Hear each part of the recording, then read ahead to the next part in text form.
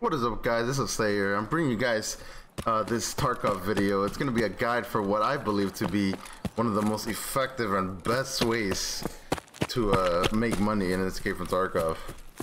Now, I this isn't going to be any like super, you know, advanced guide or, or, or, or any crazy thing.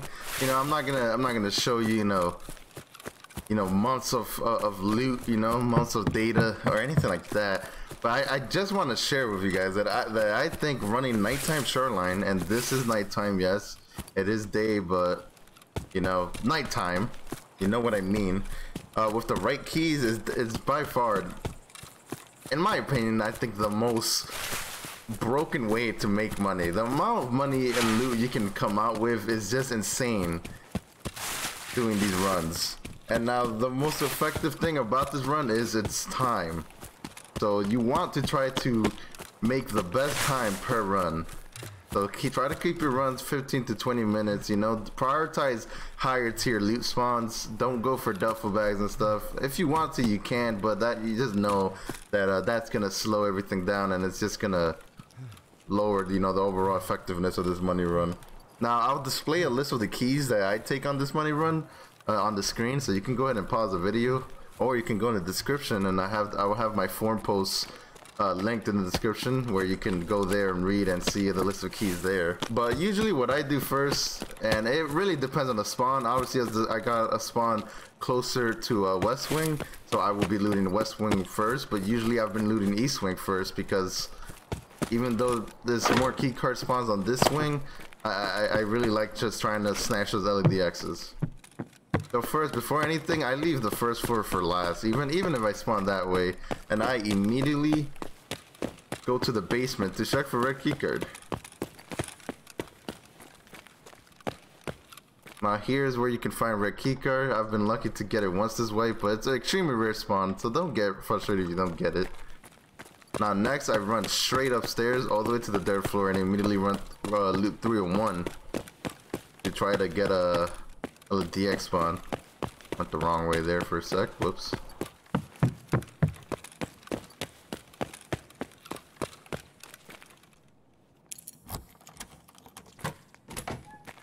And right here, you can loot everything here. Sometimes LEDX spawns up here. I don't know if it spawns on the rug, but make sure you just check because sometimes loot spawns under the rug so you can't actually see it. And when you run into this room, there's an LEDX spawn on this side of the table to the left or on this side of the table to the right. As well as, you know, possible med spawns on the table and on the bed. And you can go ahead and loot the PCs if you want. You might have a chance to get a graphic card.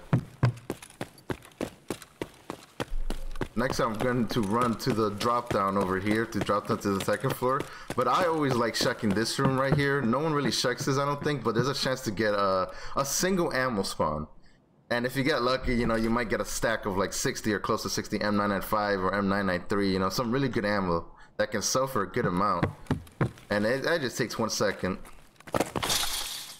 And once I drop down here, I loot all the second floor rooms.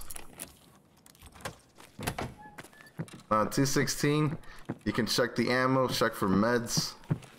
And I usually loot just like one weapon box to uh, save on time. And I just proceed. Now, 219 is completely optional because honestly, I'm, this room kind of sucks. So if you want to skip this room to make your run quicker, then by all means do so. You can get lucky and get some med spawns here. Like maybe like two or three stims if you're really lucky. But usually there's just like one IFAK or a Salewa here.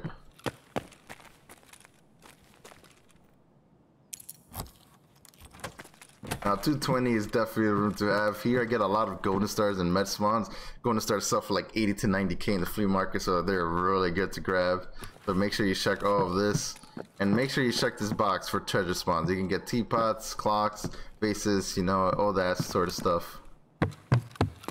And now as long as you have either 221, 222, or 220, I have 222, so I'll be unlocking this one. This is a red keycard spawn.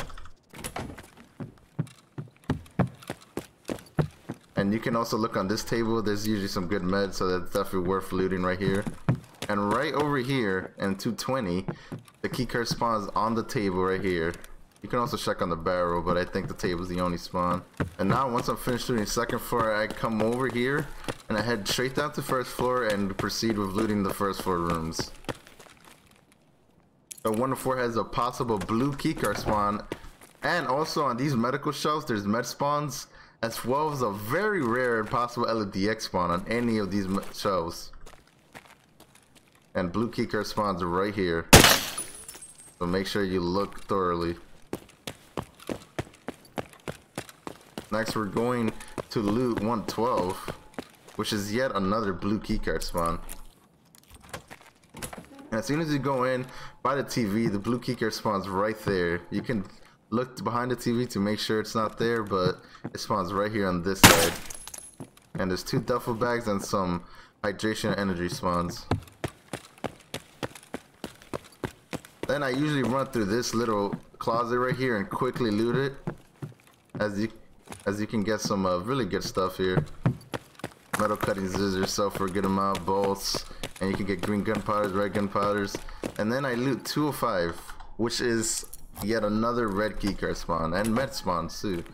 The meds spawn here, here, here, and of course in there.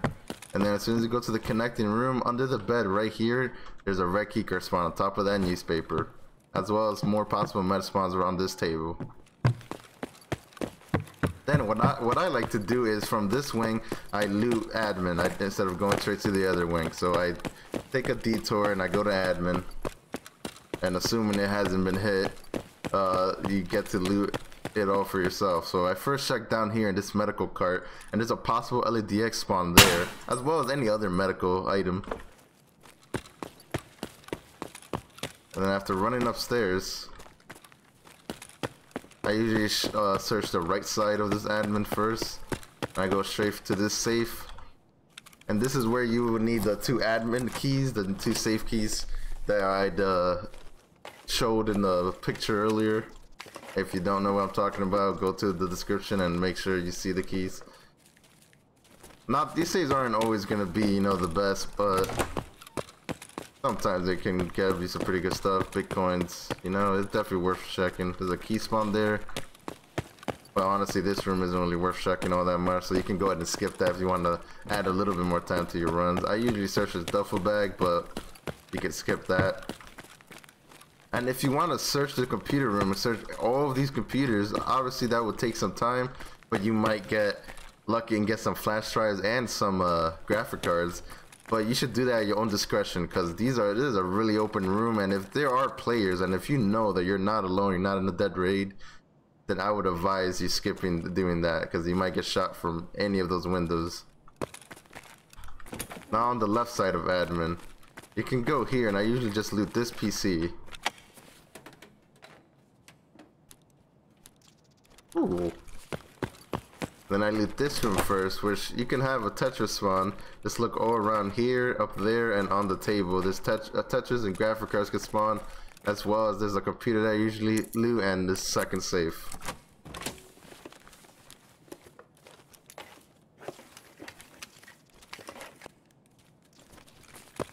And now, this is the golden grail of admin. The biggest possibilities, the biggest, biggest profit.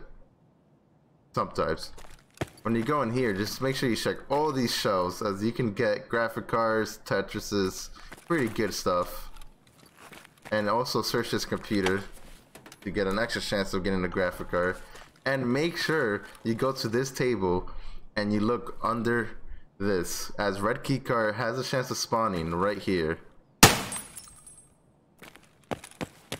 Now that we're done with admin, I go ahead to the computer room and drop down and proceed to go to East Wing. Now, something I should mention before continuing is if you get a good spawn and you're here first before anyone else, before going into any of the buildings, make sure to come up to this ambulance right here and check the back as there's a really rare uh, LEDX spawn right here. And then there's also a really rare blue keycard spawn on the side step of the passenger side door right here. Alright, now we're gonna go back to East.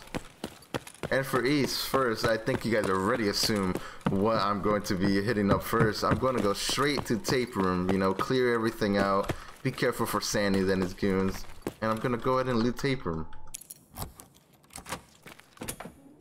And in the bathroom, there's a lot of med spawns around the floor and inside the shower. And all of them could be possible LEDX spawns. So make sure you look thoroughly before leaving. Also look right here on the floor and on this table as I found an LEDX on this table and on the floor right here. And if you want to search this PC for a, gra a graphic card chance, you can absolutely do so. And I usually search his suitcase because it technically has the chance to spawn on LEDX and any other rare loot. But if you want to go ahead and skip that, you absolutely can. Now, here's 107, which I personally forget to check on most of my runs, but this is a really good room. Once you go in and you go into this first door, this is a really good spawn for graphic cards and other rare stuff like 1G phones, Veritas picks. This high quality loot. And you can check all around this for any other high tier medical loot, but usually that, that is the highlight of the room, just these two spawns. Now we're gonna go down the hall and straight upstairs. And we're going to hit 226 up. Or of course, 225, right? Oh, I'm stupid. 222 or 226. They both connect, so it doesn't really matter which one you have. But as soon as you come in 226, if you close it, behind the 226 door, there's this shelf, and a lot of medical items spawn along the shelves and in here as well as possible LEDX chances. So make sure you look thoroughly. If you run into the 222 room, right here on this table there are many graphic card and Tetris spawn, just like this one. And in the box and outside of the bathroom, there is a treasure spawn, so you can get lions, bitcoins, vases, etc. Now, another thing that I usually forget to do that I would advise you should do is after you finish doing 226, before you continue, run down the hall and enter 218, which is another red keycard spawn. And in here, on this blood next to the laptop or on this barrel, make sure you check both. There's a red keycard spawn. Now we're done. We're pretty much done with uh, the second floor of this. But uh, before I go to dirt floor, I like checking this room 228. It's open because it just has a quick computer to search, so you never know if you can get another graphic card. Now run upstairs and either have uh, key 328 or the utility closet key, which connects to 328. I recommend having this key because this opens other doors too while 328 only opens 328. And here you can get some good tech spawns like LCDs, graphic cards, and Tetrises, as well as in the computer of course. Now I know that you shouldn't search duffel bags and to make the money run quicker, but I have found that this duffel bag right here usually honestly has really good loot for me. I don't know why, but I usually check it. And also just quickly check this table next to the bedside as you can get some nice scopes and uh, gun parts. Next we're gonna run down the hall and the first thing we're gonna check is 321, which is marked room or piggy room, whatever you want to call this, and check along the floor right here for any treasure spawns like Prokills, bitcoins, gold chains. Check on his ears for gold chains, and of course search him. As you can get pretty much any item in the game with the exception of a few items. So there is a chance of getting a full final rate slick here, and that sells for like 700, 800k. That will definitely make your raid. Now the first room I loot now is 316, which is just a weapon room entirely. This is a bunch of weapon mods, and it's not consistent, so it's usually not amazing. But I think it's definitely worth checking, just in case you get a few of those meta gun parts that sell for like 80 or 100k in the flea market. Now I do have 313, but I usually skip this, so you can do so too, because I feel that this room isn't really all that good. I believe an LEDX can spawn up here, but I'm not 100% sure, so don't quote me on that. It's a weapon box, a medical bag, as well as some weapon spawns here. And now we're going to loot 310, which is a treasure room. Now this room, check these, this table for any uh, treasure spawns. Check this table for treasure spawns, and you can also search these two duffel bags.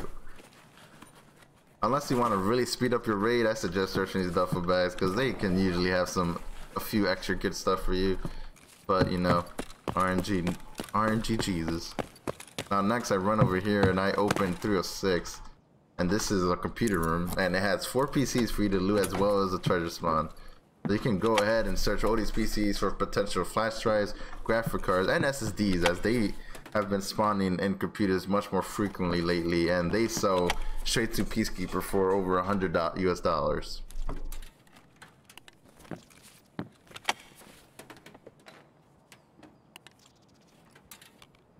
And then check inside here in this open cabinet for a gold chain and treasure spawn and on the bed. Next I run downstairs and then I go to the second floor.